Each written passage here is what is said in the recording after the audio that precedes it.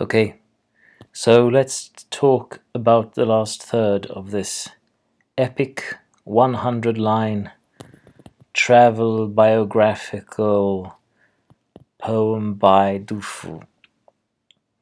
The first two videos about this poem has taken us two thirds in as far as this couplet and uh, he has started off by describing himself autobiographically, or at least his ambitions.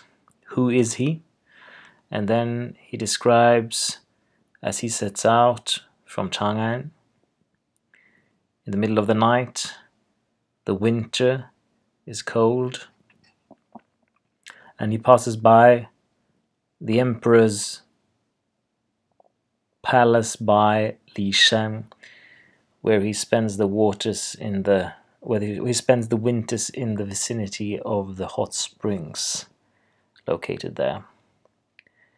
And there he muses and reflects with bitterness and acrimony on the great moral confusion and corruption in the empire and especially within the imperial household And now he moves on on his way. 北元旧京卫，官渡又改折。Language-wise, this is perhaps a little bit difficult to understand. Jingwei, the Jing and the Wei are, of course, rivers close to Chang'an, which is familiar for the people who who listen to this, I am sure. Bei Yuan, my northward cart is Owen's translations. To get to Fengxian from Chang'an, Du Fu is on his way, of course, to a place called Fengxian, as we know, to the know in the title. To get to this place from Chang'an, it is necessary to cross the Wei River. This river, the Wei. Yuan, this is a forward facing part of the carriage. So here it's used metonymically for his carriage. So we know that Du Fu now he's, he's traveling in a carriage and he reaches the river and he has to take a ferry at the Guandu, the official crossing. Um, it seems actually, for my edition, um, it seems that this crossing moved about somewhat, perhaps according to the conditions at different times of the year. And this Gaizhe changed track. The, the official crossing has has changed track again. That may refer to that. So he has after he has been traveling northward. He comes to the place where the Jing and Wei meet, and he has to cross the river. And now he finds that the official crossing has has changed the track again. Um, so he has arrived here on to the river on carriage, but now he has to cr cross uh, on a ferry, and he will continue uh, on foot, I think. What does he see then at the official crossing? 群兵从西下，吉姆高祖物。 Chunbing, great masses of ice, are coming down from the west. So the, the Wei River and the Jing River, they both go from the west to the east. Mm, as far as the eye can see, they are high. And how high? is the word he uses to describe that. This is another of these mountain descriptors. The Chinese language is full of endless mountain descriptors. There are probably hundreds of these two character compounds that describe high mountains. So the this here uh, describes the ice. Perhaps it means that the ice is jagged, uh, large. Of course, it's difficult to imagine that there are like literal icebergs floating on this relatively small um, river, but this is at least the sort of impression that it makes on Dufu to see these massive chunks of ice traveling down the river. And he, he makes a hyperbolic reflection. Yi shi kung, um, tong, yi shi kung tong lai, kong chu tian zhu zhe. So this kung tong, kung tong mountains this is a mountainous area around the source of the Jing River, actually, and it flows. Uh, you know, the, the Jing River flows into the Wei, so Kongtong Mountains lie at the source of the Jing River.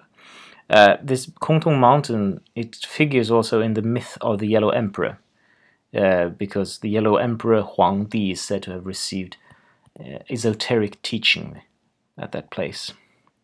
And Du Fu, he sort of imagines here that uh, the the icebergs that have come from the the Kongtong Mountains, they have broken the pillars of heaven. This is very interesting.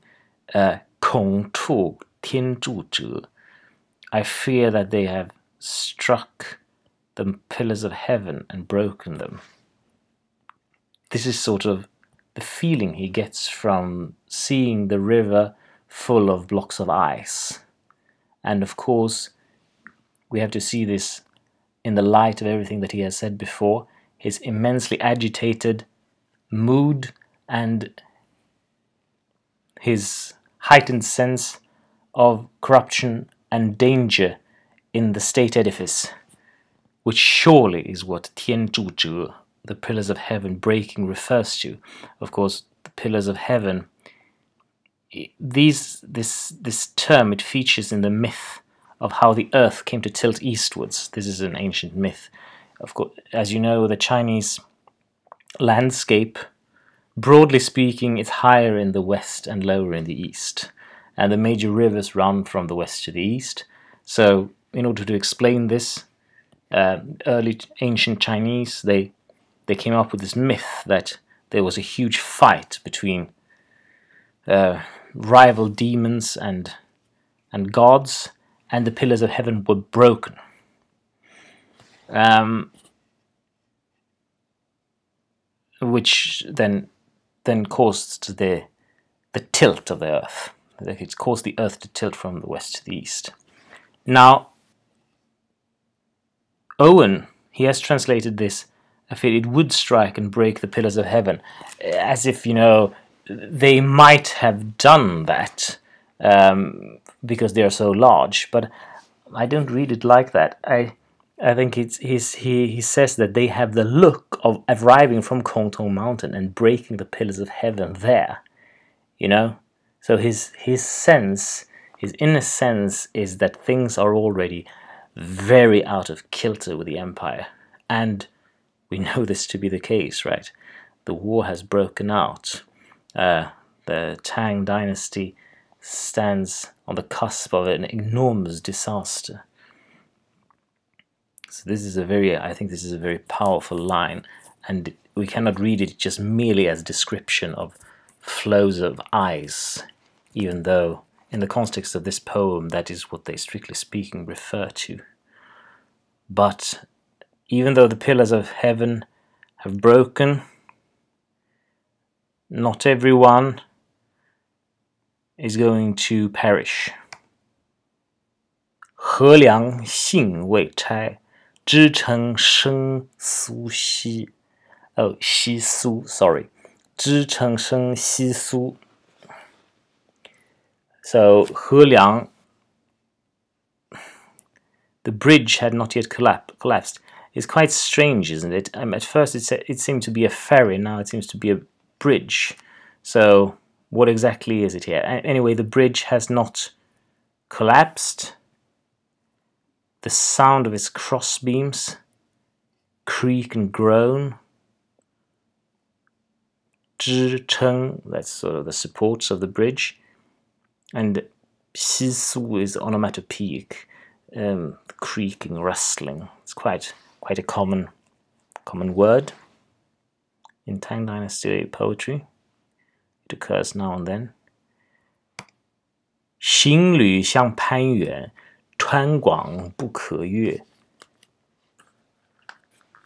Um, so you know he's he is uh, sort of clambering over the bridge together with other travelers, Xinglu, the travelers, other people, and the because the river is so is so wide that it cannot be crossed.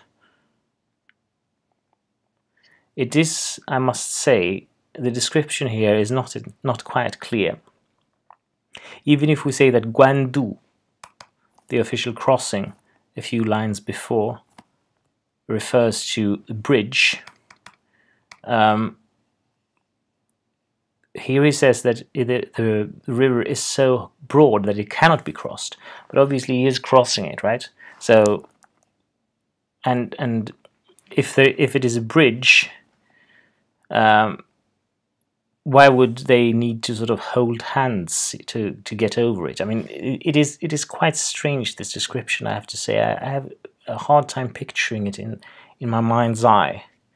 But anyway, if we step a bit backwards and we take away the concrete situation and we look at the the situation of the the empire at this point.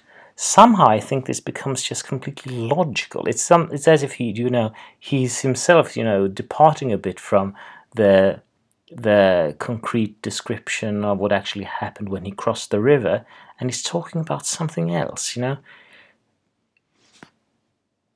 great flows of ice as far as we can see you know that the nature has turned into a wild and and uh, hostile place. And some force has taken the pillars of heaven that hold the web of the empire together and broken them down. But all bridges all possibilities for being saved are not yet exhausted, even though when we step on the bridge they creak under our feet. But people holding together in faith and love and compassion for each other are perhaps sensing a possibility to cross anyway, even though the river seems overwhelmingly large and powerful. And the river, of course, here being in the world of metaphor, um, an image of you know the empire in turmoil and a very uncertain future. The Du Fu, I think he's being prophetic here, no less. Now he starts talking about, you know, himself and his family again. So now it suddenly becomes very concrete again. 老妻 Ji Yeah, her, his old wife. Owen, charitably enough, he doesn't translate old wife as old wife, he just says my wife. Probably his wife was not older than him, himself, and he would say himself only about 40 at this point. She was in an, another county, Yixian, and the Shikou. These are the ten the ten people of his family, probably perhaps a round number. Uh, they are separated from him by, by winds and snow. This is not difficult language-wise. Um, here we come to a turning point, really, in the in the poem, and which sets everything that we've seen before in a completely different light. I think. Um, of course, this poem was written after he came home and he had already found out what happened, which you can see here. And uh, this is really, we have to understand what happens in these six lines as the source of the extremely agitated mood that Du Fu is in when he writes this poem. What has happened? Well, his infant son has died. 谁能久不顾，树王共饥渴，入门 闻嚎啕，幼子饥已足。吾宁舍一哀，李相亦呜也。Um, he couldn't really go longer without checking on his family. So 树王共饥渴, he would go. He would go there, even though the only thing that he could do there was sharing their hunger and thirst. 树往共饥渴. this shu, it doesn't really mean uh, hope. It's not a verb. It's this is an adverb uh, that means more or less or likely. But strangely enough, you know, when, when it is an actual usage, it frequently veers into the hopeful. So he hope he he thought that he would more or less go and and uh, share their hunger and thirst, share their hardships It it it uh, was it, it really does express this nuance of uh, wishing for that. 入门文嚎啕, yeah, crying, wailing, and his young son has died from hunger. and here we have a really interesting couplet, I think. This is really heartbreaking stuff, of course, but this is also interesting in in in a in a cultural, sociological sense. So let's talk about this. 无宁舍以哀，李相亦呜咽。Ning, of course, this means this is a an interrogative word. Uh, how could I suppress uh, one wail of sadness, one sad, one sorrow? It says really one sorrow. Um, well, why would you suppress your sorrow, Dufu? Right? Uh, there's an there's an interesting answer for this. Um, According to the Li Ji, one does not cry for the death of an infant. This sounds strange, but it really explain, it explains the strange expression here. And it gives, I think, a certain pathos to the whole line and the whole couplet here. You know, he is unable to suppress the instincts of his heart, though he knows and believes ritual propriety according to the rules of the ancients, should be paramount. Um, I think this things like this um, they are a, a, very welcome corrective to any too facile understanding of Tang poetry. We must never forget that the people who write these poems, the people who wrote these poems, they were very different from us.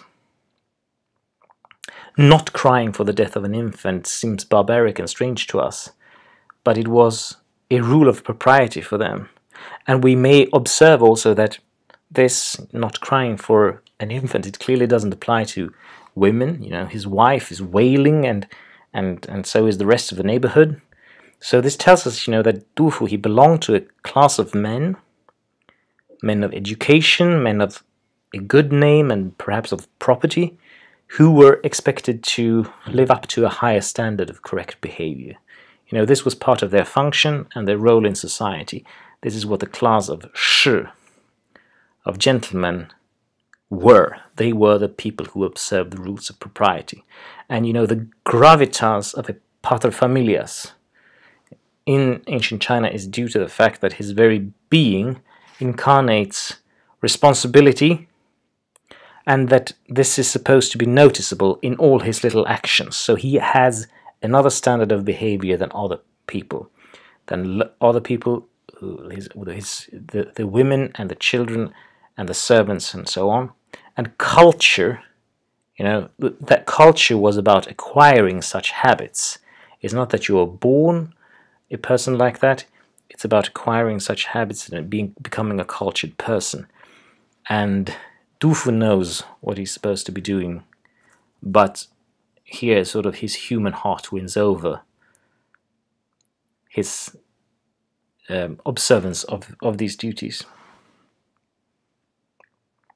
It's a horrible thing, can you imagine? I mean, you, you're going um, to visit your family and you find out that your, your, your young son is dead. 所愧为人父，无始至夭折。very easy, of course, from a language point of view. So Kui, you know, he's ashamed of himself. As a father, the, the thing I was ashamed of, 是夭折.夭折, of course, is a word still in, in modern Chinese. To die early. 岂知秋何登，凭据有仓促。 Um, I've amended the text of Stephen Owen here. In Stephen Owen says, um, 秋未登, you know, Wei has not, but I think it clearly should be 秋何登. Mm, this is also the way it's written in in my edition. 秋何, the the autumn grain. Who would have thought that though the autumn grain had matured, um, such calamity would befall our poverty? Yes, our our our poverty would have such a calamity. 仓促, yes, calamity, referring of his here to the death of the infant. There was food, but to begin with at least, but now there was not enough to, to keep the youngest alive. Now, then he shifts attention a bit. He shifts attention from uh, these details of his private life, and this is, of course, something that um, is very typical of Chinese poetry in general. You don't talk much about family life. I mean, the, the kind of uh, disclosure that Du Fu makes here in this poem is actually very rare in Chinese poetry. So he shifts attention away from that after a few lines and he starts talking about, he puts this personal disaster in the context of the larger disaster that's unfolding. 生长免租税，民不立征法. He talks about himself. All my life I've been exempt from taxes. Well, that sounds nice, doesn't it? And truly, because Du Fu belonged to the family of a high official, his grandfather, he was by law exempt from both taxes and military service. Uh, so his name is not registered for conscription. Buli Zhengfa is not subordinated to uh, Zhengfa. Yes, conscription is exactly the, is the right word. 辅计又酸辛， Ping And still, you know, it hasn't been easy for me, he says. "Fuji, considering what bitter things still happen to me, Fuji. It literally means touch tracks. It is. It means to think about what has happened to oneself. It's to, to think about one's history. When I think about my history, it is still very bitter. 酸辛 ordinary people must be truly desperate. Gu, truly, sao xie. Sao xie is a very funny word, very unusual. It occurs at the earliest point in literature, it occurs as a description of the sound of wind shaking the trees. And this is a very desolate sound, and thus by association it means it came to mean desolation, desperation, despondency. And that's what it means here. 平人故骚写，莫思失业途，因念远戍卒。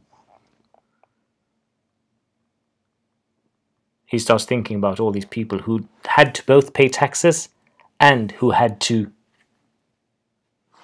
go and fight at the frontier.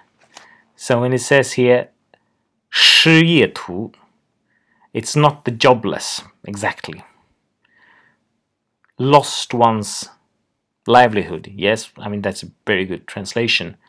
Shi, of course, in, in modern Chinese just means jobless.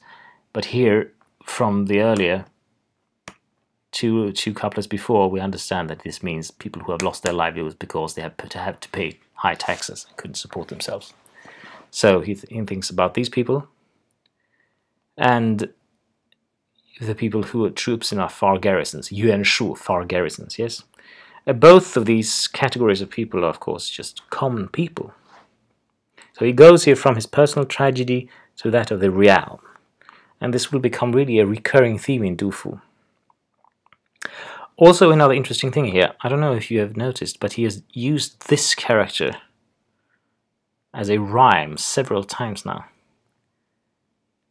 Yuan Here it means soldier. Earlier, we have it here again. Tang Another pronunciation. You could actually write this with the animal character, animal radical before, but it has completely different pronunciation. And even earlier, oh, it's not here. We have it in. We have it even earlier in uh, an um, in one of the earlier videos I made. He used it in still another, in still another um, sense. So this is a, a character that has many different senses.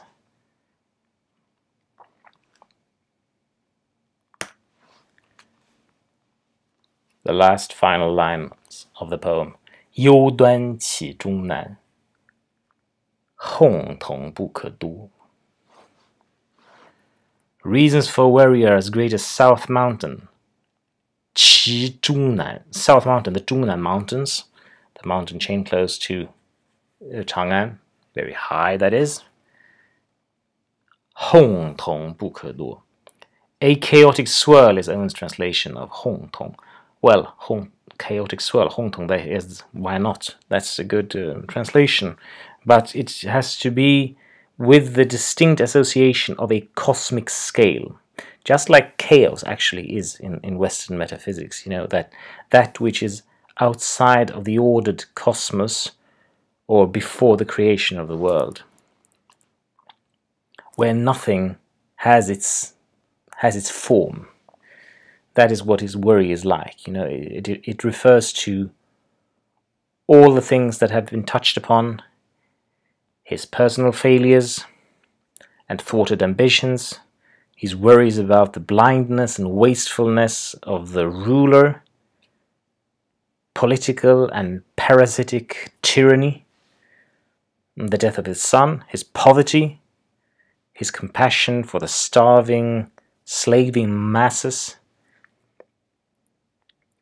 and this immenseness of, of suffering pushes him to these poetic heights that we see in this in this poem.